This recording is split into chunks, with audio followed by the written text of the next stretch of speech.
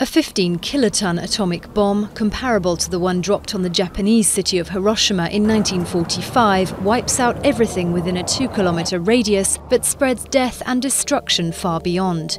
There are several phases to an explosion. First, the bomb releases a rapidly expanding gas fireball that heats the air to over a million degrees Celsius. Its diameter can reach up to 200 meters.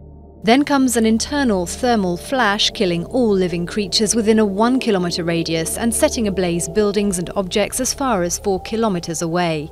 The ensuing shockwave moves at the speed of sound, flattening steel and concrete constructions in the first 500 metres, brick buildings as far as 2 kilometres away, and most wooden structures within a 3 kilometre radius.